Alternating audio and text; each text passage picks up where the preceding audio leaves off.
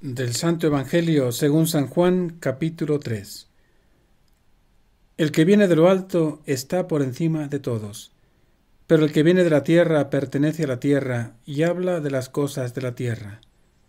El que viene del cielo está por encima de todos, da testimonio de lo que ha visto y oído, pero nadie acepta su testimonio.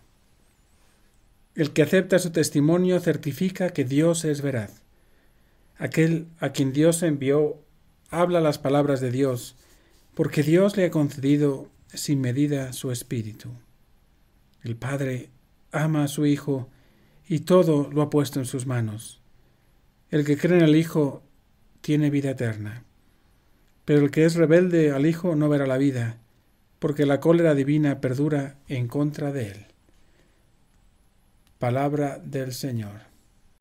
Hoy te presentas como el que viene de lo alto, como aquel que está por encima de todos, porque da testimonio no de sí mismo, como hacen los hombres, sino de lo que has visto y oído de tu Padre del cielo. Y con tristeza, con tristeza te quejas, porque los hombres no aceptan, no aceptamos tu testimonio. Ese que viene del corazón del Padre, de lo que has vivido junto a Él por el Espíritu Santo desde toda la eternidad. También te presentas como el que habla las palabras de Dios, porque Dios Padre te ha concedido sin medida tu espíritu. Ese espíritu que nace del amor que el Padre te tiene y del que tú le tienes al Padre. Me llena de gozo, Jesús, escuchar cómo te defines aquel a quien el Padre le ha concedido el Espíritu sin medida, es decir, en plenitud, sin límites. Por eso, en tu vida ha sido tan presente desde el inicio ese espíritu de amor, que es el sello del Padre y del Hijo, el fruto de su relación tan íntima.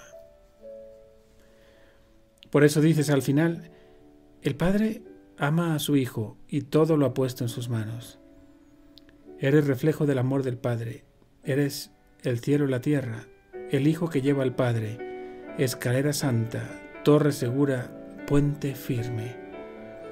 Por eso también me revelas hoy que quien cree en ti, el Hijo unigénito del Padre, tiene vida eterna. Porque, ¿qué es la vida eterna sino hablar por siempre y habitar por siempre en Dios?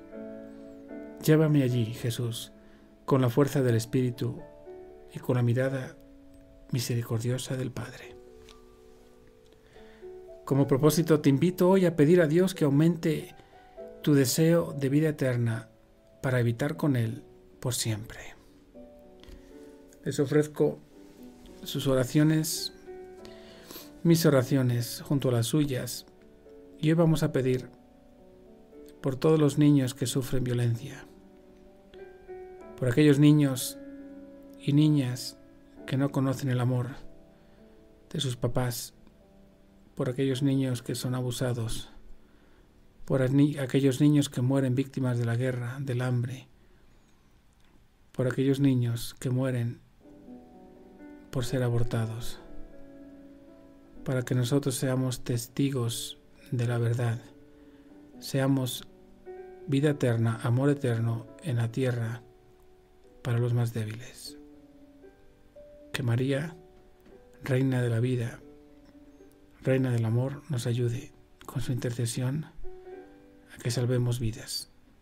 Y que la bendición de Dios Todopoderoso, Padre, Hijo y Espíritu Santo, descienda sobre todos ustedes.